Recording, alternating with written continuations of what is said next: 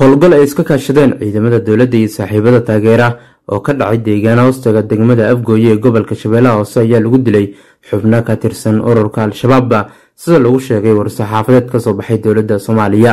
Howlgalkan oo ka dhacay deegaanada bakhdad iyo baladooska ee gobolka shabeellaha hoose ayaa lagu dilay in ka badan soddon ka mid ah al-shabaabba.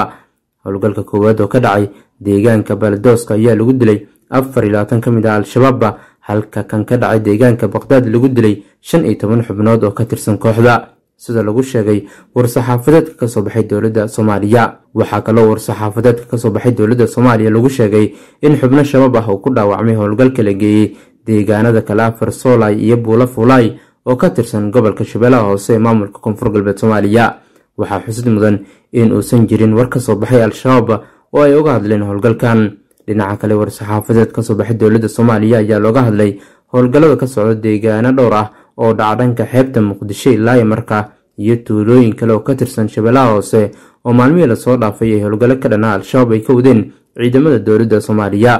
Maalmihii la soo dhaafay ciidamada dowladda iyo kuwa deegaanka ayaa howlgallo ka waday deegaano ka tirsan dalka si gaar ah deegaano dhaca gobollada shabeellada hoose shabeellada dhexe iyo gobolka mudug waxaana guulo ka sheegtay dowladda soomaaliya jacfar maxamed tv-ga shabeelle muqdisho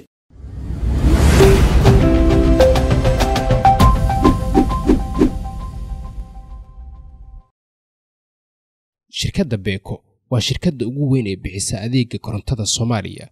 Beeko waxa ay koronto siisaa koonfurta soomaaliya sida banaadir jubbaland hirshabeelle iyo koonfur galbeed.